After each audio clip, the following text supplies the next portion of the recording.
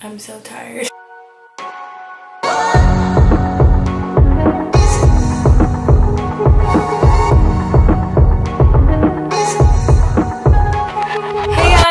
welcome back to my channel. You hear my voice. I am back from EDC and I am so tired. EDC was a lot this year. I I don't even know what just happened, honestly. So today, I wanted to get this video to you guys as fast as possible. Excuse me for my voice. My voice is like hurting. My feet hurt. My body hurts. Everything hurts. But I had such an amazing time under the electric sky. Here is my official 2018 EDC review. If you're new here, welcome to my channel. Be sure to hit that subscribe button to vibe with me. Follow all my social medias at vibe with Ade. So let's get right to it. EDC was fun. I had a really good time, I will admit. I think it was a really well put together festival. I think me myself, I'm just not equipped to last that long for a festival anymore. I was really tired. I was really in pain a lot. I wore those holographic boots day one and they I had broken them in the weekend before and I was doing fine. And then I don't know what happened, but day one my feet were just dying so bad. I got really bad blisters on my pinky toes. And so luckily I brought these black Nikes that I wore to EDC last year and I wore those with my custom insoles and yeah, my feet were just still hurting like all weekend, so I had to take a lot of breaks and sit. The music was incredible. Every artist I saw I was not disappointed with at all. Day one was a little hard just because the artists that I did see, I did kind of get like, okay, like I saw them, I'm, i want to go see what else is going on. I think I just really wanted to wander day one, and so I did a lot of wandering, um, saw a little really good artists, but like there was like a conflict with like Virtual Self, Kaskade, Hot Since 82, Herobust, Alpha 9, there's like a, that huge conflict on Friday. I saw the beginning of Virtual Self. He he played Ghost Voices and then I was like, okay, I'm gonna go wander. Then I went and I saw Alpha 9 on the way to Kaskade, and Kaskade played like my favorite song so it was just like perfect timing of You Can't Stop and then went to Herobust and ended there. So day one I didn't really have like a favorite set. I would say it was more like these moments that happened because I did see Chris Lake back to back Chris Lorenzo. I saw that full set, loved that set. And then the other full set that I saw that day was Pendulum and Pendulum put on a really good set. It was just, I was on my feet. I was sitting the whole time just because my feet were killing me, but all in all, that was like really good set. But those are the only two sets I saw the full time. Otherwise, I was just bouncing around. Like I saw a little bit of Claude VonStroke, Gryffin. Gryffin played Feel Good. Like that put me in my feels. And like, and then day two, I actually planted myself a little bit more and saw some full sets. I started at Kinetic Field and I saw Moxie, Chris Lake, and Jauz. That was three hours of just like house music and wubs and everything was just amazing and I loved every second of it. And then after that, saw the end of Ookay Live, which Ookay brought out Kenny G to play the saxophone for Thief. And like, if you know me, Thief is one of my favorite songs of all time. Anytime anyone drops it at a festival, I freak out. But he brought out Kenny G with the saxophone and I was like this is it. This is the peak of my life. Like oh my god that's so incredible.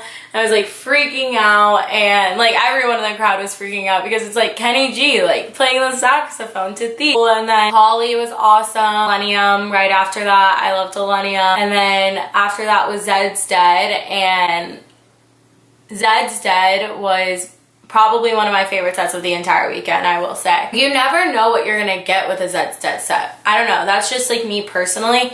That was my third time seeing them, and each time I, that I've seen them, I saw them Phoenix Lights 2017, Something Wicked 2017, and then now um, at EDC, and each time it's just been something different and they bring something new to the table every single time. Away from that set being like, whoa. We went to Excision Detox set. I was really intrigued by this set just because I read on Twitter what Excision had said about his Detox set, like what that means, and it's basically just a chance for him to play other music than his own and play other genres and just have fun with it kind of thing, which I thought was really cool because it's so hard when you're like such a big name like Excision and a lot of other artists are doing this where they want to be able to like play other stuff and have fun with it, but they don't want their fans to like get, like I guess, judgy or be like, whatever, you know? Like people get like that. I really enjoyed the de detox set. It's really like another side you got to see from Excision that you don't normally get to see besides like the massive head banging and everything. I got lost in the Neon Garden with Green Velvet. I was in a trance in there. My friend Devin, he like was like, okay, I'll be right back. I'm gonna go get some food. And then he ended up leaving and then he never came back. so I was just in the Neon Garden by myself, but I wasn't like alone. Like I was hanging out with people. I met a lot of people. I had the totem with me so people kept on saying hi to me. But there's something about that techno music in the Neon Garden that makes you want to stay there. Like it is something I've never experienced before that but I just like like oh my god this is so good and I just like kind of forgot what time it was, where I was. Like I was like this is so good. And then you start seeing like the sky kind of like start to turn like as the sun's starting to rise. I'm like am I supposed to be anywhere? Where are my friends? Where am I supposed to go? And then I ended up closing out day two at Cheat Codes all the way till the end till sunrise. That was really good. And then day three started with Elephante. Elephante was good and then went into Borgeous. I went and caught a little bit of Shiba-san. I wish I could have stayed there for the full set but it went into Don Diablo's time. I went to Don Diablo and I was like so happy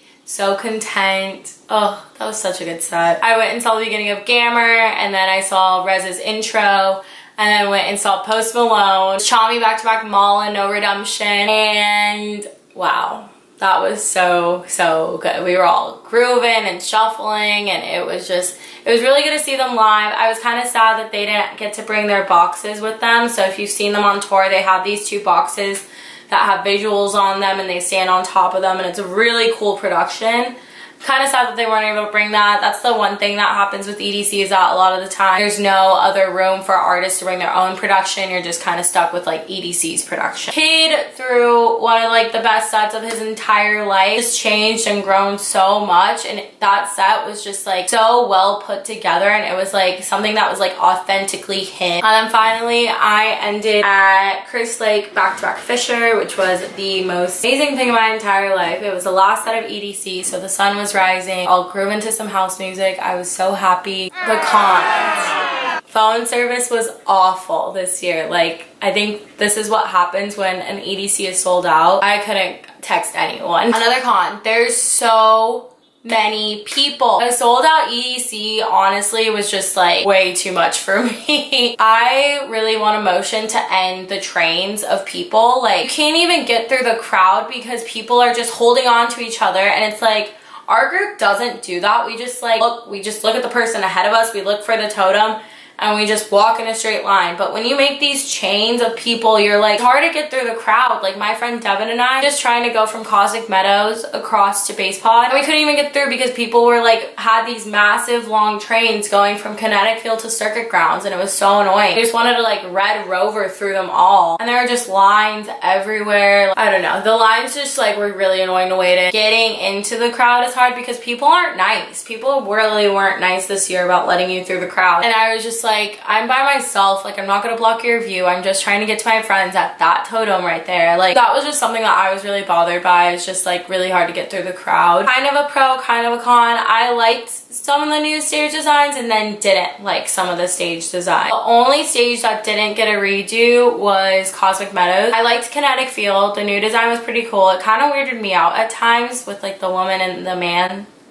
naked holding a heart it kind of, I don't know, it just kind of made me a little comfortable for some reason. It also just felt really small. I don't know if that was just me, but last year felt way, it felt way grander and way bigger. This one just felt really small. I don't like the new bassPOD. I don't miss the old bassPOD. Wasteland got bigger, like expanded it more, which I guess is cool for those people that love that music. Circuit Grounds, I will always love. Like that stage. I'm really glad that they kept like the visual all around you going on because like that's what I loved about Circuit Grounds. Neon Garden, oh, I missed the old Neon Garden. It was like, I don't know. It was just like this enclosement kind of thing.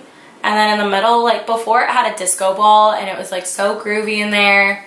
But like it had this weird prism thing these poles coming up and then I was just holding this like crystal prism black thing. Cosmic Meadows didn't change so Cosmic Meadows was good. Upside Down House became now Sonic Bloom and I actually really liked it a lot more because you got more visual capabilities with it where and lights with it whereas Upside Down House it was just like a house that was like lit up and had the DJ. All the art cards stayed the same. I was a little frustrated finding the art cards because on this map that you have on your phone, didn't have them. Like you could you couldn't tell which art card was which. It just had the pictures of the art card. It didn't have the names of which one was which. Because I did meet some really awesome people. Like a lot of really cool people did come up to me and say hi to me, whether they were from Arizona or whether they know me from Vibe with Ade. And so I really did meet a lot of cool people. I got a lot of awesome candy. Hi, if you came up to me at EDC, I forgot to mention this. Thank you so much. Literally meant so much to me that you guys follow my blog. Okay, bye.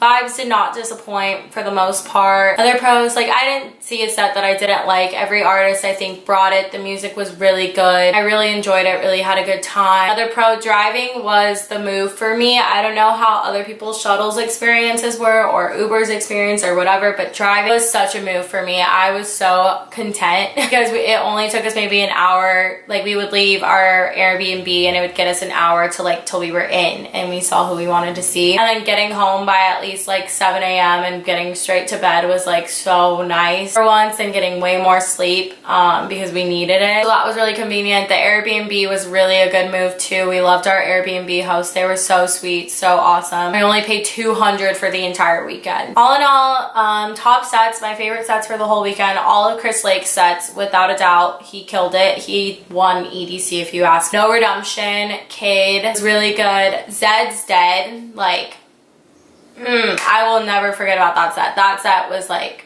one of my all-time favorites probably. And then of course Don Diablo, Akali, and Jauz were also my favorites. I really can't narrow down. It's really hard to narrow down. All in all, I really don't know if I'll be back for EDC 2019. I say this right now, but we'll laugh next year when I'm at EDC 2019. But right now, I'm just like really tired. I had a lot of fun, um, but my feet were hurting really bad a lot. How packed it was was like kind of not enjoyable. Yeah, last year wasn't sold out, but this year was sold out and you could like really tell a difference. So we'll see if I'll be back for EDC 2019, but until then, my next festival will be Electric Forest Weekend 2. If you're going, please let me know. Let's meet up. Let's hang out.